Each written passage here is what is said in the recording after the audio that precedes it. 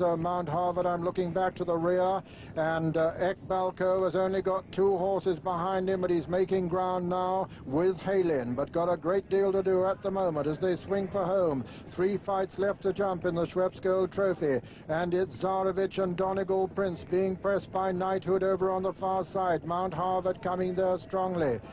Just in behind them, Heighlin making good progress with Prince of Bermuda and Della's Beck also well in a challenging position and Homore Star coming there strongly too. Coming down now to the second last flight. Donegal Prince under pressure, Tsarevich on the inside. Over on the far side is uh,